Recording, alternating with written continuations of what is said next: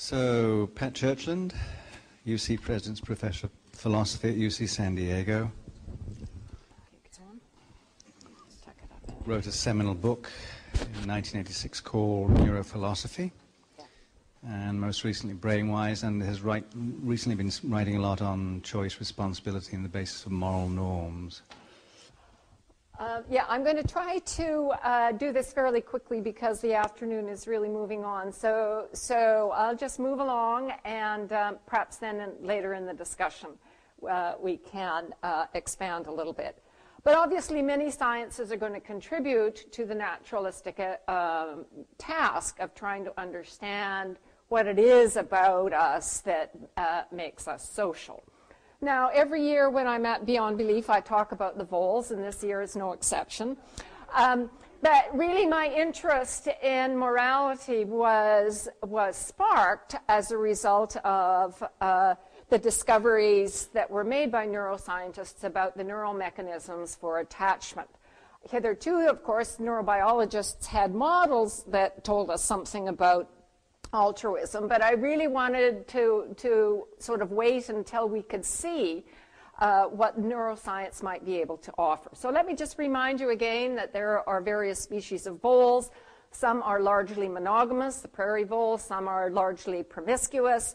Um, of course, it has to be said that even though the prairie voles are largely monogamous, the males do, as the English say, like to get a bit of crumpet on the side. And I guess we now know from Sue Carter's work that the females like to get a bit of, shall we say, stud muffin on the side. But they do, they do like to live together. The males nest guard and they share parenting, and that's very different from the montane voles. Um, now, the, the basic finding, and of course the story is actually very rich, but the basic finding concerns the density of receptors for vasopressin and oxytocin for vasopressin in the nucleus accumbens, uh, sorry, for oxytocin in the nucleus accumbens and for vasopressin uh, in the ventral pallidum.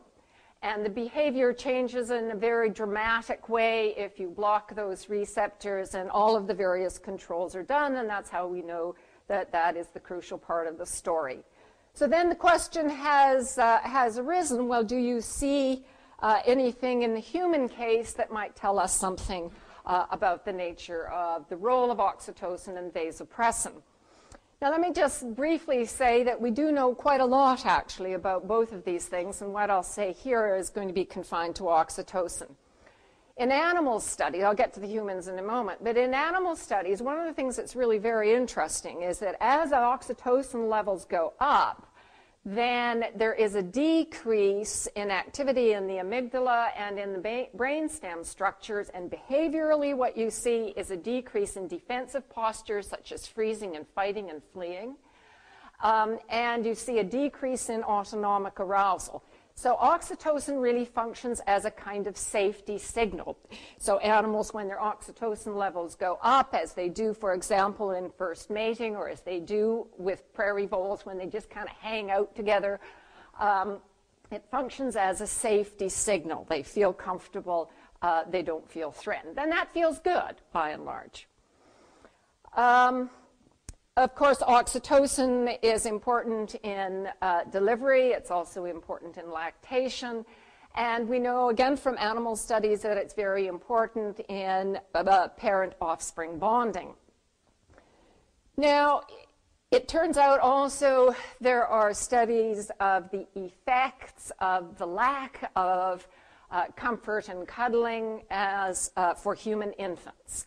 And if, if there is a lack of comfort in cuddling when humans are infants, they tend to show poor social, uh, st- stable social, I'm trying to do this too fast. Uh, uh, they don't tend to form good long term relationships. They have social problems of one kind or another. And in a rather heroic study, it has been found that, in fact, their oxytocin levels in sort of normal interactions with friendly, uh, familiar people are lower than they are uh, in controls. Now, all sorts of experiments have also been done where what you do is spray oxytocin in the nose and goes up through the olfactory bulb and into the system. And it's known that trust levels increase for example, in the investor game. Um, but it's also been shown in human studies using fMRI that you see a comparable decrease in activity in the amygdala and also in the brainstem. And consequently, we, do see a, a great similarity between uh, what happens in animals and what happens in humans. So, like Sam, I'm, I'm, sort of inclined to think that there are facts about values. And in particular, I'm inclined to think that the uh, second group of existentialists that Owen talked about, who said that the world itself is meaningless or valueless, and that we have to create values, that they were really quite wrong, that we're all born with these systems that are very deeply into the values business, and that values are much more fundamental uh, than many of the things that moral philosophers uh, tend to talk about. So the basic point is then that social attachment, and I think as I'm going to explain, that social attachment really constitutes the biological platform for morality in general. That, uh, what we know is that social attachment is mediated by, amongst other things, oxytocin, vasopressin, the density of receptors, but it's also mediated by dopamine and the endorphins, and there are probably other things uh, that are involved as well. So, the fundamental hypothesis that I want to suggest, and I think this might fit with Sam's picture of the moral world, is that attachment and trust are the anchors of morality. That we feel these strong bonds to children, to mates, to kin, and in the case of humans, of course, this can also be expanded beyond the immediate group and that these strong bonds, and we feel them throughout, um, are tuned up by the reward system so that we are sensitive to particular local practices and conventions. And we come to acquire, at least in the human case, but also I think in some animals, we come to acquire concepts like honest, fair, kind, friend, foe, and so on. Um, like all concepts, these are radial concepts in the sense that they have prototypes that are in the center, and then further out, uh, there are examples that are a little more uh, controversial or hard to classify, and the boundaries are fuzzy. So it's not like there are necessary and sufficient conditions for being honest. Rather, it's that there are certain prototypical kinds of cases that we teach children, we all agree upon, and then there are cases uh, that are further out. So between them, uh, the um, attachment and trust as regulated in the way I described and the reward system, I think what you've got is the motivation to do problem solving. And, to, and, and I guess I really do need to have a place in here for the, for the mirror neurons. It's just that I, I don't really think of the mirror neurons so much as a mirror neuron system as just part of the way the whole shebang works. Uh, but that's a slightly different story. But it seems to me then that, that humans, like other social animals, wolves, bonobos, uh, baboons, we have a powerful motivation to solve complex problems about how to get along. And that much of morality really does, and this is not new, this is just old Aristotle, that much of morality really has to do uh, with problem solving. And problem solving, and this is something that I, I think I acquired by thinking about computational issues in neuroscience for a long time. I think problem solving, and hence this wider idea of reasoning, really is a constraint, constraint satisfaction process. It's the way that neural networks settle on solutions to practical problems. Sometimes those practical problems have to do with the physical world and how to get on, build a bridge, catch a bear, and what have you. Sometimes that they are, uh, they are moral, uh, that is to say, social problems.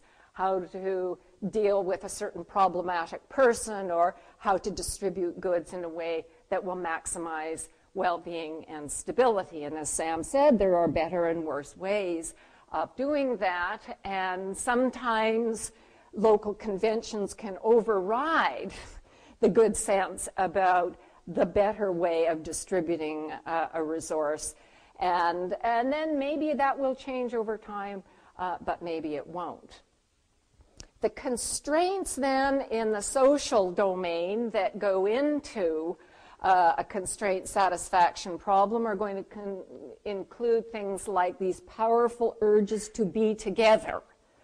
We're anxious when we're not with those people who, uh, to whom we are attached, and we feel good and safe and comfortable when we are.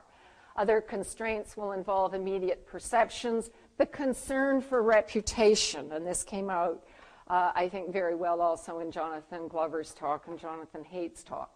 But there will be other emotions and drives, there will be memory, and there will be the powerful force of habits as mediated by the reward system. How exactly neural networks handle these complex constraints such that they settle into a solution is still to some degree an unsolved problem within computational neuroscience. But reasoning has to be something like that. What we're pretty sure most reasoning isn't is deductive logic. Maybe I use a bit of deductive logic like maybe twice a week, not counting logic class. But most of the rest of it is this complex constraint satisfaction process.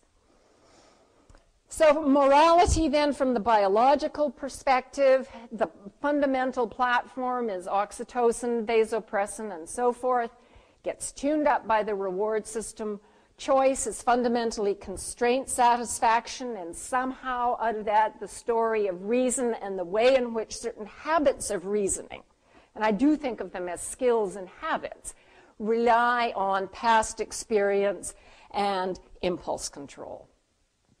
Social decisions, then, I think, are multi brain constraint satisfaction problems where some solutions are better than others, so that uh, trial by your peers turns out largely to be better than trial by ordeal.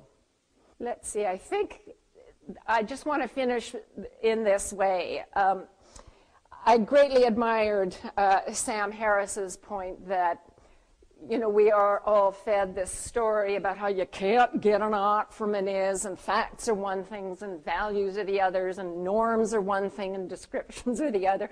And maybe we ought to kick those tires once in a while. And so, in the context of this sort of a talk, someone is always going to say, yeah, but you can't get an ought from an is, and blah, blah, blah, blah. And does that mean that the desired is just the same as the desirable? Because maybe it's the case that uh, a certain culture at a certain time uh, desires something like uh, uh, boiling the firstborn and feeding it to the dogs, does that mean it's desirable? And of course, one wants to say no.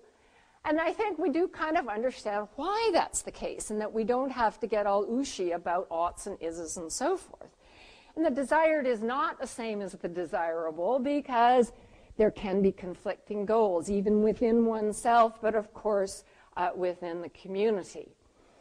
Um, there is also ignorance of the future. And so sometimes, depending on the degree of uncertainty, uh, what we may have to do is rely on the wisdom of the elders, or we may have to rely on a trusted and true, uh, so to speak, solution used in the past. And the other thing, of course, is that desires change over time.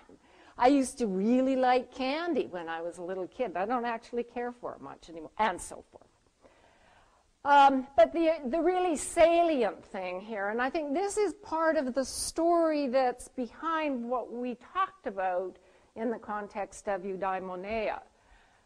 What's desirable is not independent of what humans do in fact desire. Now, that doesn't mean there's a simple relationship between what we do in fact desire and the desirable. It's going to be complex.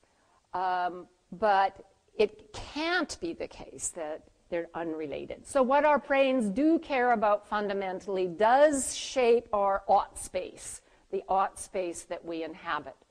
And this is really reflected in how we organize our institutions, change them sometimes, change our laws, re- reorganize our social behavior, and, and in a certain sense aim for some kind of improvement, even though we often may have the conception that we're doing better, uh, only to discover uh, that our social experiment was not so good. So, what is the relation between what is and what we ought to do?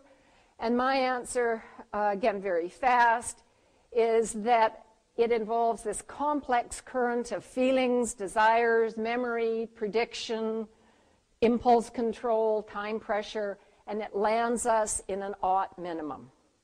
That's how it looks to me from a biological point of view, which is different from the point of view of, so to speak, uh, folk psychology. And I'm just going to leave it at that because I want to make sure there's enough time for the rest. Thanks.